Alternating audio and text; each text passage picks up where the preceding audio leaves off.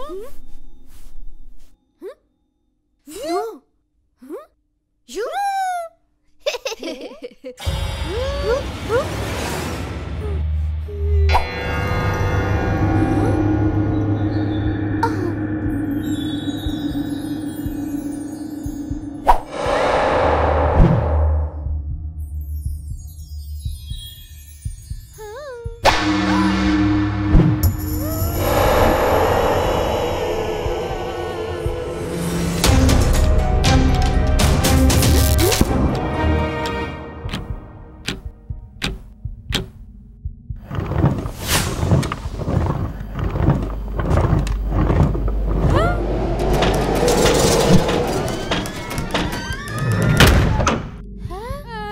Huh?